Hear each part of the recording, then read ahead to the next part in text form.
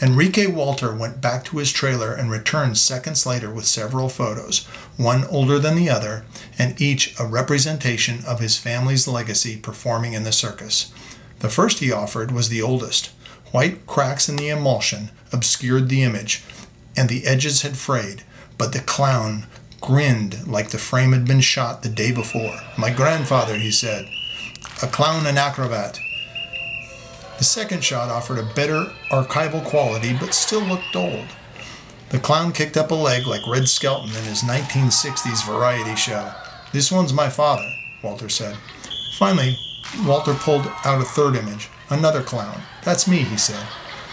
It was shot at a recent performance in Orange Cove. He wore a bowler hat, striped shirt, and a single suspender. The Walter Brothers Circus Big Top transformed the vacant lot at the corner of 7th and L Streets in Sanger last week. The final shows are today, Friday, and over the weekend with two shows each, Saturday and Sunday. Enrique Walter is the patriarch, but his sons, Jonatan and Gaston, are the heart of the operation. They also perform acrobatic stunts worthy of America's Got Talent and do whatever is necessary in the show. Their circus has been playing small venues since it left home in Vegas in February, and everybody has multiple jobs. They plan to continue their West Coast tour until November. My grandpa, my dad, they performed in the circus in Argentina, Jonatan said. I was pretty much born into the circus. My kids are the fifth generation. Sanger folks began to notice as soon as the circus convoy arrived, and it didn't take long for word to spread. Jonatan said, once they start setting up early in the morning, everything is usually complete by midnight. The show, as they say, must go on. By Friday at noon, the ticket office was open for business. This is the best life in the world, Enrique said. It's a tradition in the family.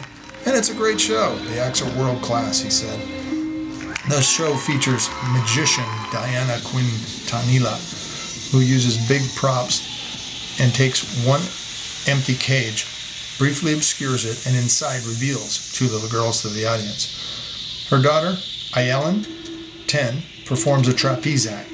And then there's Bela Tabak, who performs on a motorcycle in his globe of death. Somehow he's survived after all these years. He started riding motorcycles about seven or eight. He's a little bit more than 40 now. Google his YouTube's videos for a sample, and he speaks Hungarian like a native. The Walter family has been performing in their own circus for the past five years. Before that, they had been saving up their money to branch off on their own, following European style traveling circus concept and focusing on smaller venues like Sanger, Orange Cove, and even Barstow. Much of the current show centers on the efforts of Enrique and Jonatan too. Their tramp style clown act connects much of the skits in the show. They interact with the audience quite a bit and delight the children. Previously, this group performed with other circuses. About the turn of the century, the Walters got the call from Circus Circus in Vegas and decided to leave their native Argentina. Great grandfather John Walter originally emigrated from Germany to Argentina at the tail end of the Depression. There, he continued his act and launched the South American edition of the family tradition. Tabak said, In that era, clowns lightened the mood. You can never go wrong by making them smile, he said. Jonatan said, when he and his family first arrived in this country, the casino put them up in a nice hotel. He and Gaston remember sitting in a room, looking out the window, and wondering where they should get dinner. The big question on their minds was whether anybody would speak Spanish. I didn't know, Jonatan said, referring to the predominance of others in the area from Spanish speaking countries. From their window, they could see at least one restaurant that appeared promising. It was a Jack in the Box. Once they got the courage to head down and enter the establishment, they quickly realized their fears were unfounded. Just about everybody spoke Spanish, Jonatan said.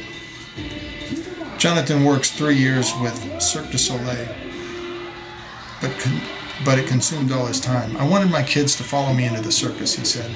Lacking the time to give them to train, he put them in gymnastics, but it wasn't the same.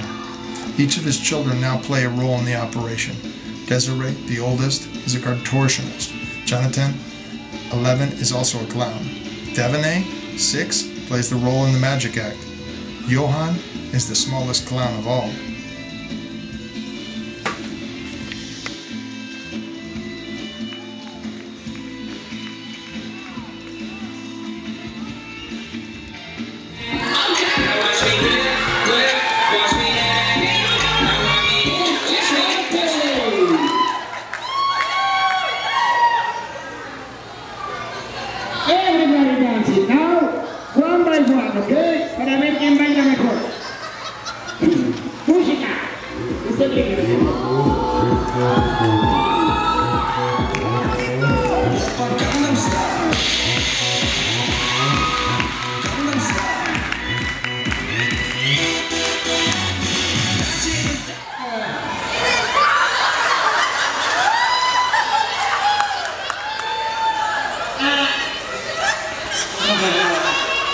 I question. Put this dance like that. My mom.